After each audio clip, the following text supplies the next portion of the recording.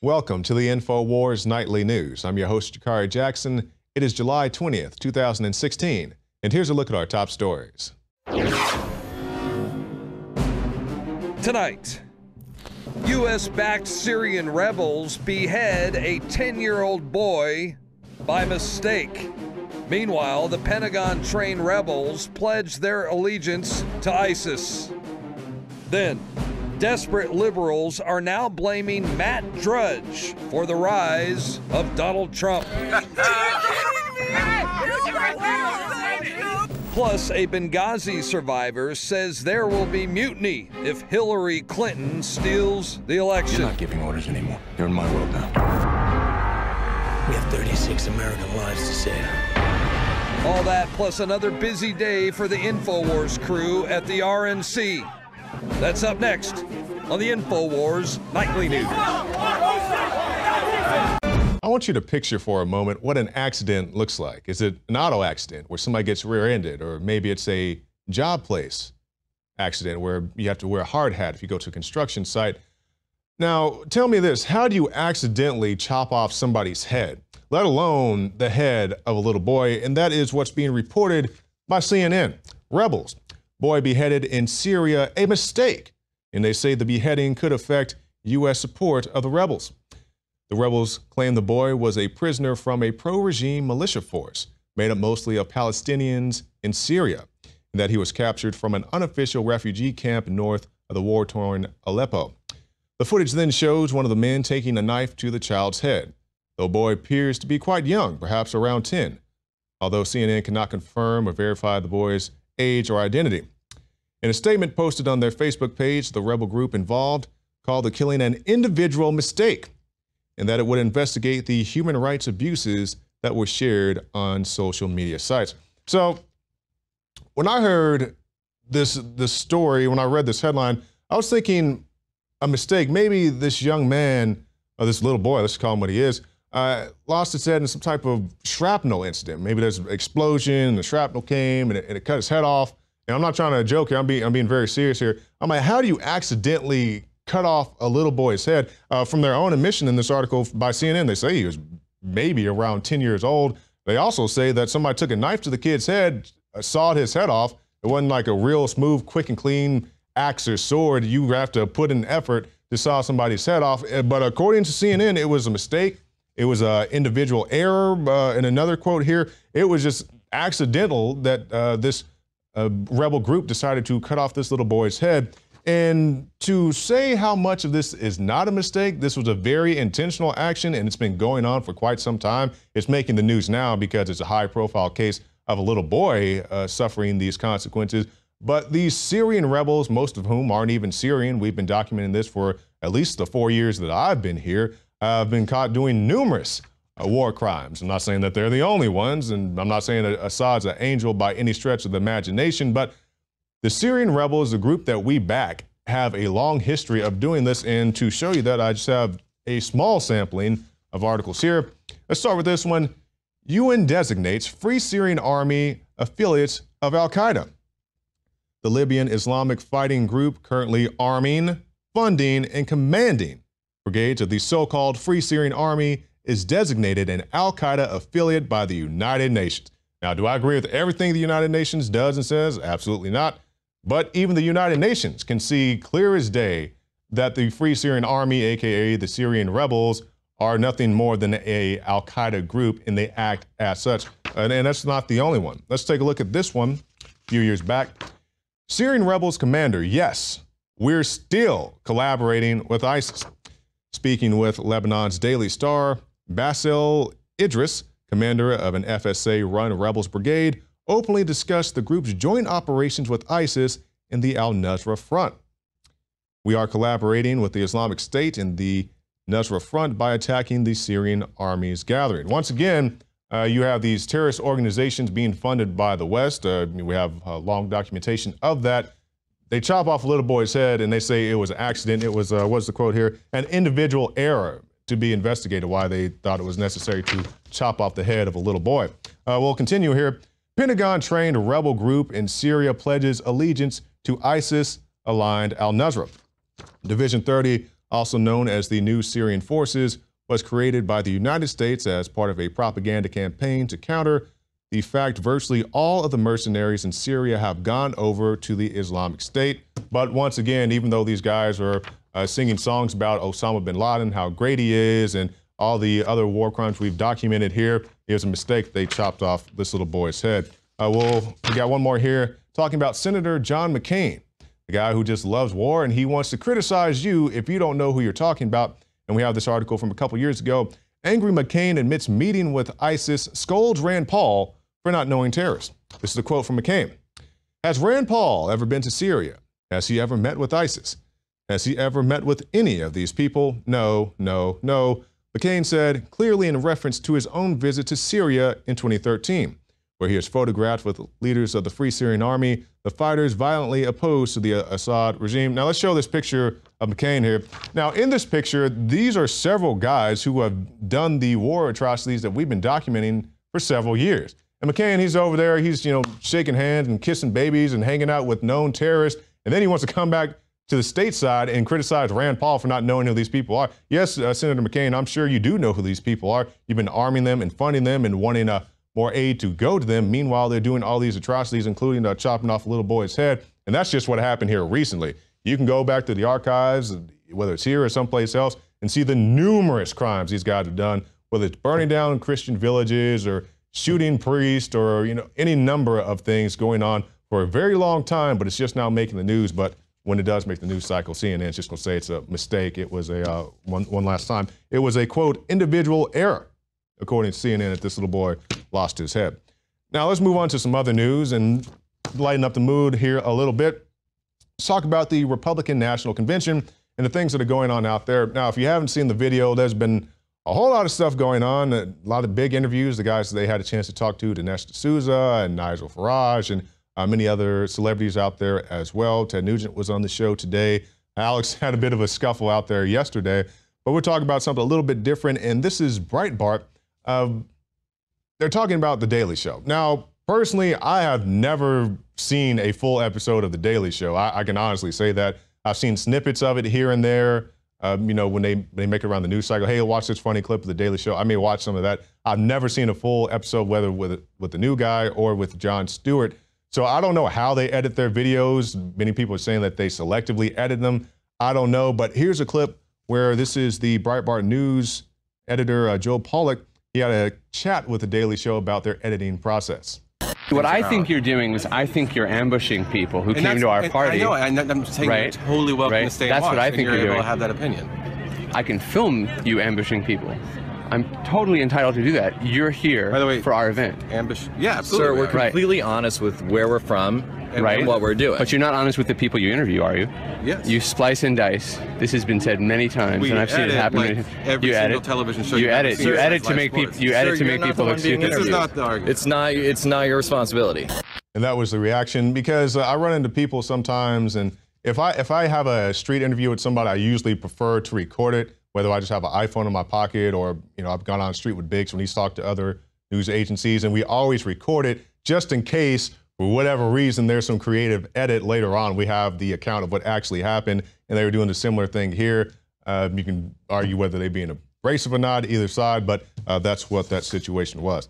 Now let's talk about something near and dear to my heart, and that is the Second Amendment here in the United States of America, and that is the right to bear arms. And an arm is not restricted to a firearm. That's what a lot of people assume it is, they try to water it down. You have to understand back at the time that the Second Amendment was written, everybody's like, it's about muskets. Arm is an arm, whether it was a bow and arrow at the time, or a crossbow, or a sword, or whatever else. And that continues with the weapons here today. And now we see that the Massachusetts Attorney General is moving to ban sales of copyright assault weapons. And this is Attorney General Healey. Healey announced that her office was ratcheting up enforcement of the state's assault weapon ban by targeting guns whose actions are similar to AR 15s and AK 47s, but meet current cosmetic requirements, such as being sold without features like a flash suppressor, bayonet lug, or telescoping stock. Now, let's take a second right here and pause. Do any of these provisions that I just mentioned, whether it's a flash suppressor, bayonet lug, or telescoping stock, uh, that doesn't really make the gun shoot any faster because that's what the the notion is, I guess, in the assault weapons ban, you don't want a fully automatic rifle. Uh, having a bayonet lug. When's the last time you've heard a story here in the United States of America of somebody being stabbed with a bayonet that's affixed to the end of an AK-47 or AR-15? I, I don't know uh, one off the top of my head. Also, the stock. All that is is it moves the the butt of the gun back and forth. So let's say if you have longer arms, you can extend it out. It doesn't make your gun shoot any faster. So they're banning truly cosmetic features of your of your gun. It's like if you having spinning rims on your car. The, the spinning rims don't make the car go any faster. It just makes it look different. Uh, but we'll go down here to the quote of Healey, And she said, This will end now. And this is an editorial piece for the Boston Globe. On Wednesday, we are sending a directive to all gun manufacturers and dealers that makes clear that the sale of these copycat assault weapons is illegal in Massachusetts. With this directive, we will ensure that we get full protection intended when lawmakers enact our assault weapons ban. Assault weapons ban. Nobody's trying to take your guns. Nobody wants your guns. Nobody's trying to take your assault. Can you guys put? The, I want everybody just zoom in on that. Make sure everybody gets that. This is a quote: "Assault weapons ban." Her words, not mine, and not the watered down version of these protections offered by the gun manufacturer. So this is Attorney General Healey, Massachusetts, saying she wants an assault weapons ban. Well, number one, there is an assault weapons ban currently ongoing in the United States of America. You cannot go Joe Blow off the street, walk into Academy Sports and Outdoors or Cabela's and buy a fully automatic gun. You can't do that. If you do do that, you have to have a class three license. And if you think just do going through the background check, this is a background check of a background check of a background check. It takes you like six months to get what you want anyway.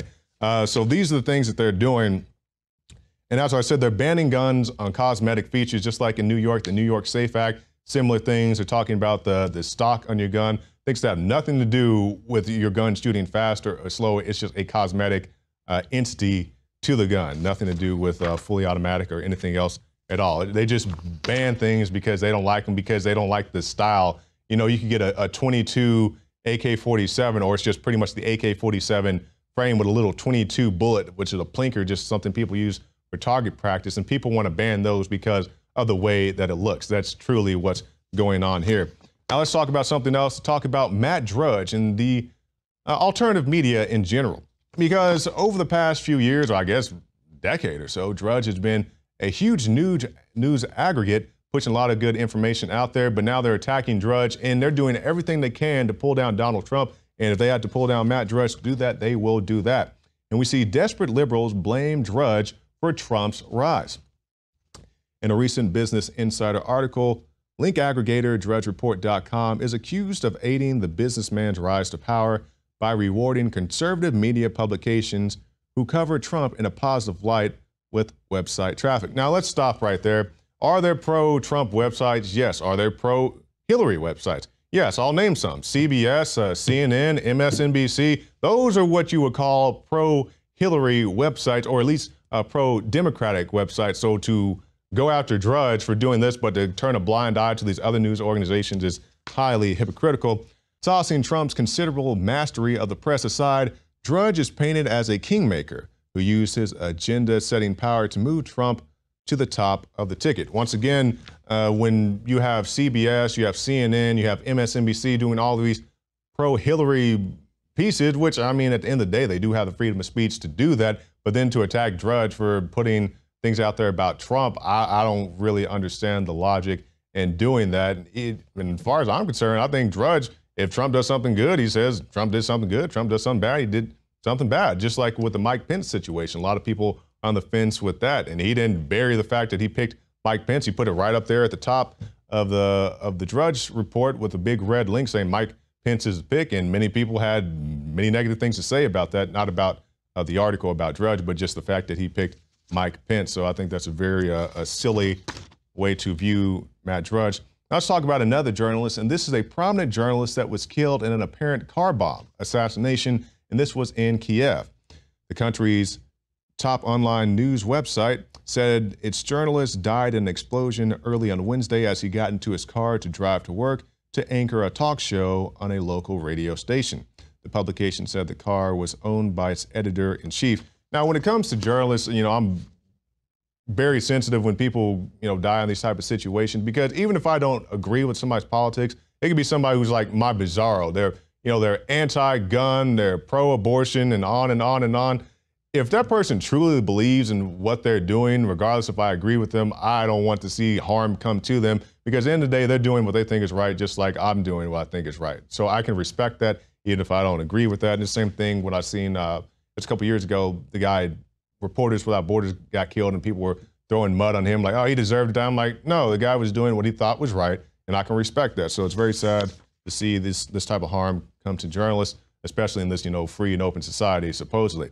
And we'll end with this. Uh, I saw an op-ed piece today. I think it was on Drudge Report or Drudge linked to it. It was a LA Times piece saying that the government or the military was basically going to have to revolt against Trump if he gets elected, and, and it goes to all this uh, scenario and could happen, sensationalism, all that. And that's one way to look at it, but we also have a Benghazi survivor saying that special operators will leave the military if Clinton gets elected. So you can pick your poison. You want Trump, you want Hillary. I personally don't want either of them, but you're welcome to your opinion. We'll be back right after this break with more special reports. Are we at risk of losing some of our special operators, some of our best guys? You already are. Really? There's guys leaving now just because of that, because they don't know if the call for help is going to be heard. This council has no hesitation in proclaiming you all guilty. Guilty. Guilty. Guilty.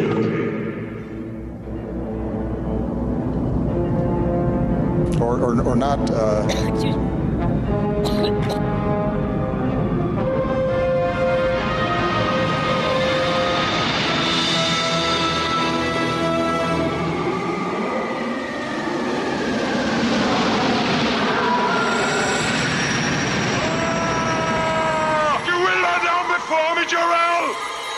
you and then one day you're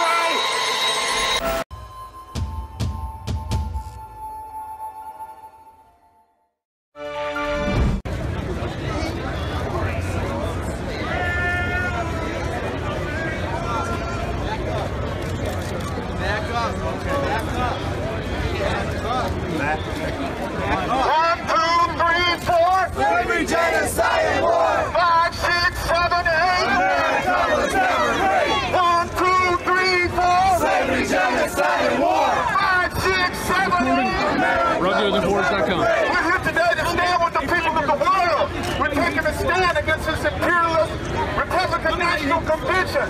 Donald Trump is an open fascist. Hillary Clinton is a proven war criminal. We're not following either one of those leaders. Donald Trump's message of America first is a fascist message of control over the people of the world to wage unending war, to exploit people all over the planet.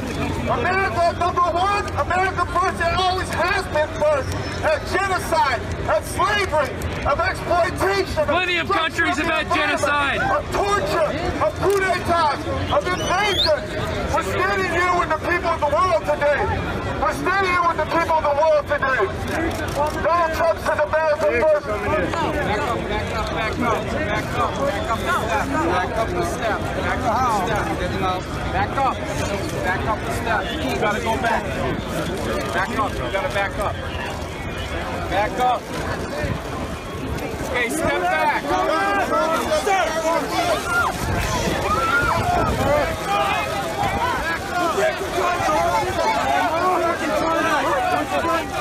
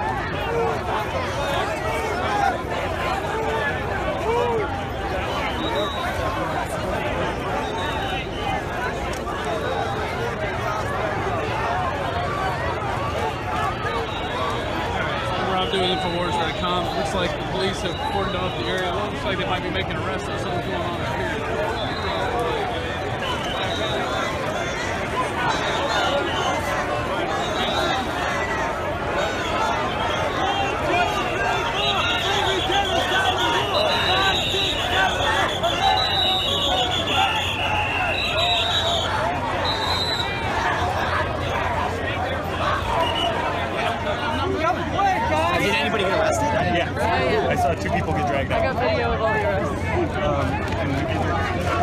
Yeah, I'm friends with Matt. Oh, great. Yeah, so if you already have. I saw two. I saw two get dragged out.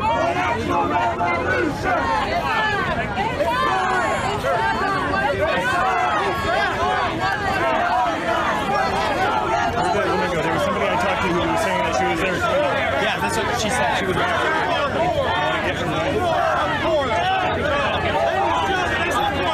You said at least three.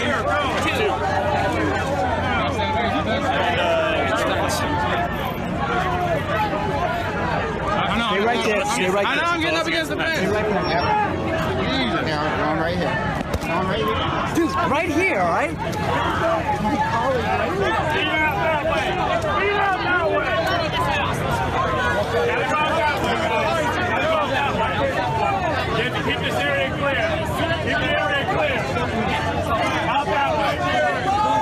Obrigado.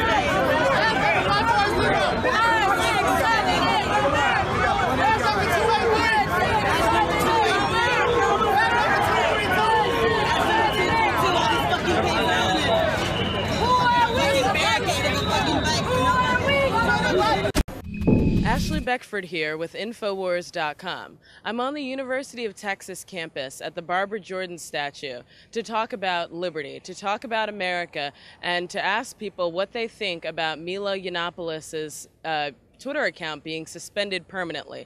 So, are you familiar with who Milo Yiannopoulos is? Uh, yes, I know. Yes. Okay, did you hear that he was permanently banned off Twitter last night?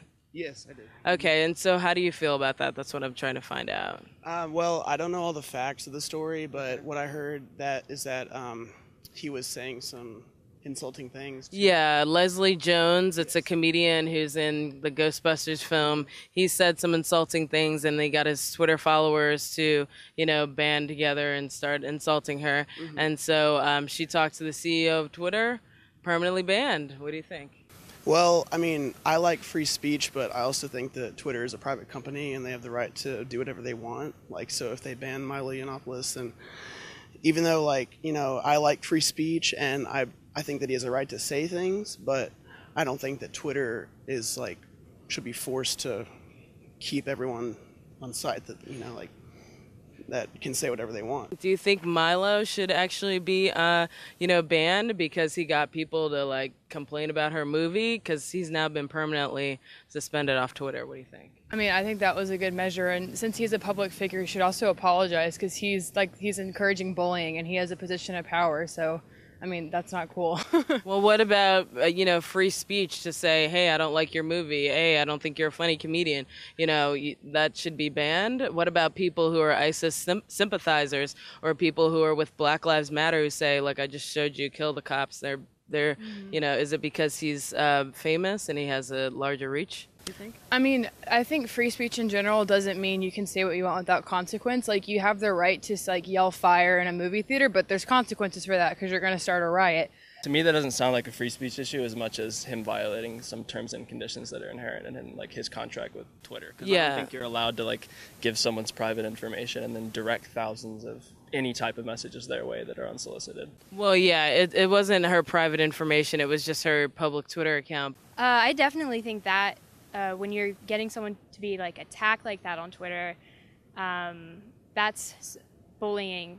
I definitely can relate to cyberbullying in that sense. Uh, I don't think there's any room for that. When it comes to free speech, honestly, I feel like there are a lot of people who don't really they want to tout free speech, free speech, but they also do not like to think about the repercussions that come along with it. So Yeah. I mean, you're free to do whatever it is that you want, but at the same time, you need to also be you just need to expect consequences too, especially if you're going to be touting out really negative things. Right. So, I mean, if Twitter wants to ban people like that, especially if you're inciting really hateful language and hateful ideology, I feel like, hey, if that's up to Twitter, and they can definitely do it.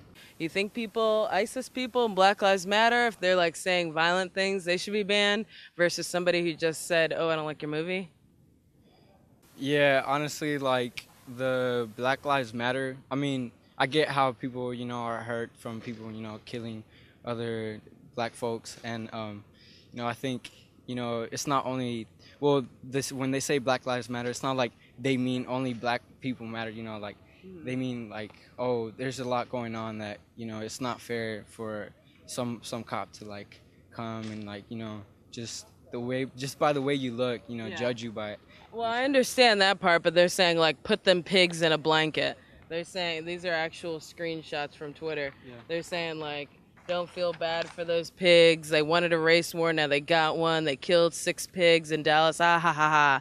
So I'm just wondering like do yeah, right. Like, just mad. yeah. That He pretty much incited all of his followers to go and completely attack Leslie Jones. And I mean, I thought it was just absolutely disgusting. I mean, again, yes, free speech, but he was participating in active bullying and he was rallying other people to just harass her.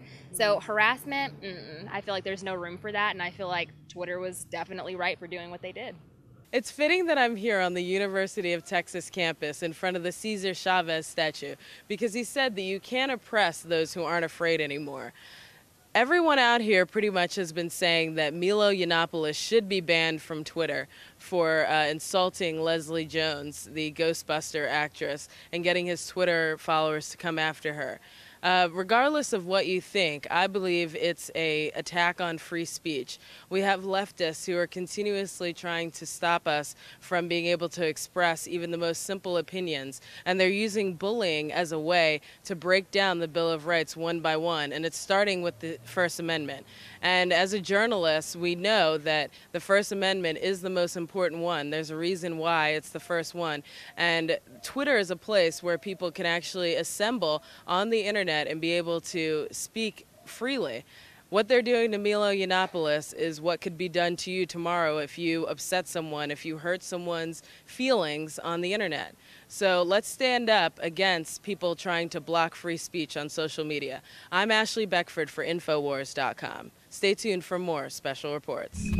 Twitter has slapped a lifetime ban on Milo Yiannopoulos for saying that the new Ghostbusters movie sucked and criticizing one of its lead actors, Leslie Jones. According to Twitter, Milo was banned for, quote, inciting or engaging in the targeted abuse or harassment of others. This was parroted by the New York Times, who said that Jones had suffered, quote, racist and sexist remarks rallied and directed by Mr. Yiannopoulos. Time magazine said Milo was, quote, involved in a campaign of racial harassment. TechCrunch said Milo, quote, urged on a hateful mob. BuzzFeed claimed Milo, quote, incited his followers to bombard Jones with racist and demeaning tweets. Yet there's no evidence for this whatsoever. All these media outlets are brazenly lying. This provably never happened. Milo tweeted that Jones was, quote, barely literate. That's it. That's not harassment, it's a statement of fact. And it isn't proof of Milo inciting a targeted campaign of abuse against Jones. There's no proof whatsoever that Milo incited the targeted abuse or harassment of Leslie Jones, who did engage in the incitement of targeted abuse against another Twitter user. Hmm, who could it possibly be? And it was Leslie Jones. She sent out a tweet on Monday inciting her followers to target someone with whom she disagreed. Bitch, I want to tell you about yourself, but I'm gonna let everybody else do it. I'm gonna retweet your hate. Get her! Get her! That's inciting targeted harassment right there. Under Twitter's own rules, Leslie Jones should have her account terminated. She did the precise thing that Milo was wrongly banned for. She openly incited the targeted harassment of another Twitter user, not to mention engaging in routine, casual racism. But Twitter's a private company. It can refuse service to anyone it likes. Oh, really? So can Christian bakeries refuse service to gays? Oh no, that's right, they get fined and shut down. But that has nothing to do with it. You're talking about discrimination law. Except that law isn't applied when it comes to Muslim bakeries refusing to bake gay wedding cakes. Just like Twitter's own rules aren't applied to leftists who engage in violent rhetoric or who incite targeted harassment. Do you know how many threats of violence and outright death threats I've personally reported to Twitter only to see nothing happen every time. So while Twitter was wasting its time and resources on censoring a gay conservative who gave a movie a bad review, ISIS supporters were celebrating terrorist attacks. An actual ISIS jihadist was allowed to threaten terror on Twitter for six months and they did nothing. Over the last two years, Black Lives Matter supporters have called for killing police officers on a daily basis. Those threats intensified after the murder of five cops in Dallas. How did Twitter respond? It gave them their own emoji. So I guess under these new rules, prominent Twitter users with hundreds of thousands of followers are now personally responsible for racist and violent tweets sent by their followers. Does that mean DeRay Mckesson or Shaun King will be held personally responsible for the deluge of violent threats and incitements to kill cops tweeted by Black Lives Matter supporters? Does that mean apologists for radical Islam like Glenn Greenwald will be held personally responsible for ISIS propaganda or death threats sent to conservatives by Islamists. Is Justin Bieber responsible when his fans cut themselves with the hashtag cut for Bieber? Is Beyonce responsible when her fans go after One Directioners with death threats and rape threats? Of course not. It's preposterous to suggest that a public figure, an entertainment personality, or a prominent journalist is responsible for what other people post on the internet. Does that mean feminists like Anita Sarkeesian or social justice warriors in general will be held personally responsible for the mob witch hunts that ruin people's lives and destroy their careers on a regular basis? No, they won't.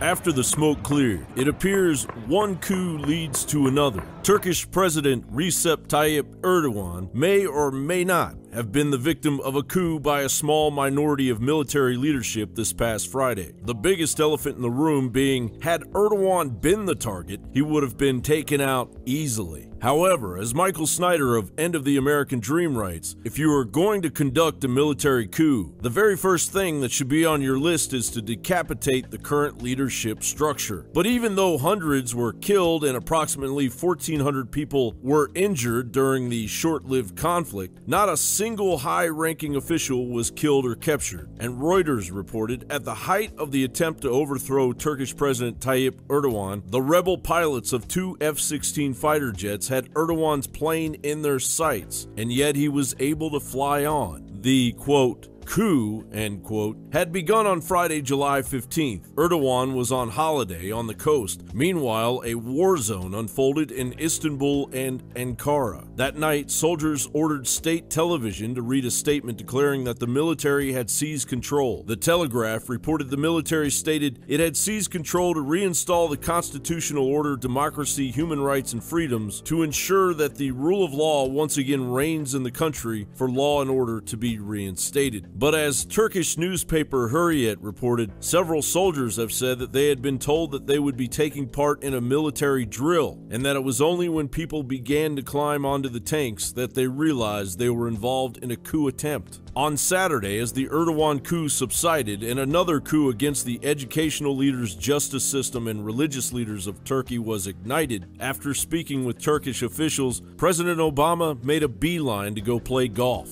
Meanwhile, Obama's ally, Erdogan, proceeded to hunt down one head in particular related to the root of his prospective dictatorship Fethullah Gulen, an aging Turkish cleric, a major influence on the overall narrative of opposition in Turkey, who now resides in Pennsylvania. Erdogan is now asking President Obama to return Gulen back to Turkey to silence any opposition to Erdogan's forthcoming full blown dictatorship. The BBC reported more than 1,500 university deans have also been ordered to resign, and the licenses of 21,000 teachers working at private institutions revoked. The Army, Judiciary, Security, and Civil Service have all been targeted following Friday's coup attempt. 6,000 military personnel have been arrested, with more than two dozen generals awaiting trial. Nearly 9,000 police officers have been fired. Close to 3,000 judges have been suspended. Some 1,500 employees of Turkey's finance ministry have been dismissed. 492 have been fired from the Religious Affairs Directorate. Turkey's media regulation body on Tuesday also revoked the licenses of 24 radio and TV channels accused of links to Mr. Gulen. When you pull back the curtain on Erdogan's regime, the clear indication that a growing alliance between Erdogan's administration and ISIS has quietly been germinating. Daniel Pipes of the Washington Times writes Kurds, academic experts, and the Syrian opposition agree that Turks, estimated to number 3,000, and foreign fighters, especially Saudis, but also a fair number of Westerners, have crossed the Turkish Syrian border at will, often to join ISIS. What Turkish journalist Kadri Gürsel calls a two way jihadist highway has no bothersome border checks and sometimes involves the active assistance of Turkish intelligence services. In actuality, the Turks offered far more than an easy border crossing, they provided the bulk of ISIS funds, logistics, training, and arms. Turkish residents near the Syrian border tell of Turkish ambulances going to Kurdish ISIS battle zones and then evacuating ISIS casualties to Turkish hospitals. Indeed, a sensational photograph has surfaced showing ISIS commander Abu Muhammad in a hospital bed receiving treatment for battle wounds in Hatay State Hospital in April of 2014. One Turkish opposition politician estimates that Turkey has paid 800 million to ISIS for oil shipments. Another politician released information about active duty Turkish soldiers training ISIS members. Critics note that Turkish Prime Minister Erdogan has met three times with someone named Yassin al Qadi, who has close ties to ISIS and has funded it. Essentially, Turkey, a majority Sunni Muslim country, but still a secular country, home to Turks, Jews, Greeks, and Arabs, is transforming into an ISIS stronghold under the newfound popularity future dictator President Erdogan gained after his quote coup, unquote. Jon Bowne for Infowars.com. Yeah, working classes have no nation.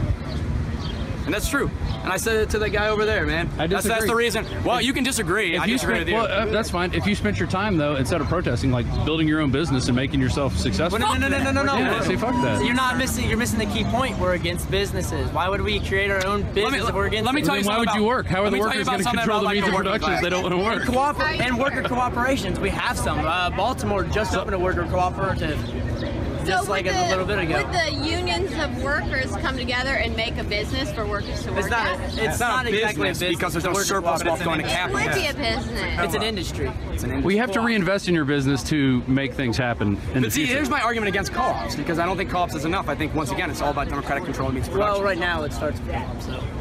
Co-ops play a role. I'll give you that, comrade. It helps. And if you don't um, want it, I'll start another Trotskyist splinter party right now. I'll have to see if Are you you- guys are- don't get that, dude. Are y'all from? Uh, no, I'm getting it all. Are I y'all, where are y'all from? No, I mean like you don't get it. No, yeah, I don't get anything. That's right. But he doesn't know who Trotsky is. I know who Trotsky is. Okay. Okay. Great. Wow. You're learning something. Maybe they'll actually read Marx this time before they criticize. I just think it's funny that what I mentioned. Why don't you go form your own business and work on that instead of just holding out, uh, holding signs? Dude, no, out no, here, once Yeah. again, let's talk back to the other question we were talking about in terms Okay. of the working classes, man. Like, yeah. once again, the, yeah, the working classes are where it's all about, right? We have more in common with a working class person from another country than I do with any capitalist from here. Or fascist, like some of these other fucking people. You should go talk to them, Mr. Eugenics down there. And who do you consider? Well, I don't Yeah, know. what there you go, or not. I mean, I don't know. I'm, I'm against eugenics. Okay, cool. Are you guys? Are you guys? No, I would say- I would say- You're, you're Yep. with Infowars. I highly doubt that. Really? No, we made a whole film no, about I'll, I'll give eugenics. Infowars. About They're eugenics. crazy, Yeah, I guess but they're not probably never seen it, eugenics though. crazy. Yeah, you must be. I don't. Yeah. Where'd you get that shirt from? Huh? Oh, my union. Did you buy it? No, a No, union. It was union it. labor. Our Our union made it. made it. They grew. They grew the. Our union workers made it, and then No, they they built it. printed it. and we got it from union. So where did they buy We, the we got it. We got it all union. It was all union, the whole way All out. union. All Union. You can go to our website and check it out. Yeah. Yeah. Union cotton fields, everything. Union, you organized workers, and we did. We organized workers at uh, um, Sakuma Farms. We stood in solidarity with them. We said, no one's buying berries unless the farm workers, who the ones who pick the berries, get their just desserts. And we did. We, this. and we, huh? We're still on an active campaign against They're talking about. They're talking about uh, uh, organizing with them. So, All right. Yeah. Well, we're gonna agree to disagree. I'll put my hand out to shake it if you want. Uh, we're not making Nah, middle see? ground. Yeah. No. Not gonna fall for that. No. Not gonna fall for go is that. biological fallacy. All right. All right. All right. We know this is what we're up against, people. All right. Yeah. People, people that don't want to work, don't want to do I anything. actually, they, that's no, no, right. Oh, no, you I do wanna a work. carpenter. I do work. Oh, you do work. Yes, oh, I build yeah. these fucking buildings. Yeah. Okay. And what do you do with that money? You, you buy things with it, right? That's I that's that's what makes the world go round. It's always has Well, yeah, So let's pay them shit wages so they can't buy any of our shit. Yeah. Capitalism will collapse Yeah, on itself. Work for yourself. work for yourself. That's what it's all about. Actually, I kind of do work for myself. Yeah, because because by not having a Capitalist. yeah, exactly. No, I'm not. I work Yeah, for you myself. are. You work for yourself. You're a capitalist. They own their own labor. We're talking about everyone I own doing my own that. labor. Ah. I do my own work. I'll make my own. Own your own tools. Use capital to buy your tools and your truck and everything No, else. that's not capital, dude. That's money. I, I still have to use money because I'm in the capital system. It doesn't mean I agree with using the money. So you're saying, say, hey, I still have to and like, work. if you want to be a communist, you have to go live in the woods, and you can't use iPhones, you can't use anything else. and to you, and you can't pay for Rage Against the Machine tickets, you know, because What do you think those guys are? You think those Hey, guys hey, are capitalists next or time we'll take back the, the five-hour work week we Actually, for. Tom Morello. You guys can't have that. Tom Morello is in our union, so I don't really have to pay for shit. we get free shirts, right?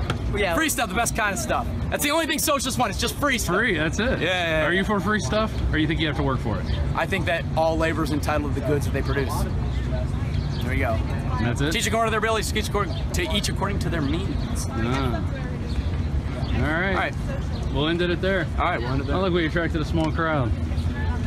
Lively debate. All right. All right, you guys have a good one. Later. Rob Dew reporting for Infowars.com. And that's it for our show tonight. We do encourage you to go to prisonplanet.tv and get yourself a free trial. You get the nightly news, the special reports, the rants, all right there on prisonplanet.tv. Now, if you're trying to keep up with the RNC and you see all the videos and you can't keep track, go to prisonplanet.tv where you can get all the footage right there for you. I'm Jakari Jackson from the InfoWars Command Center, and we'll see you again tomorrow night.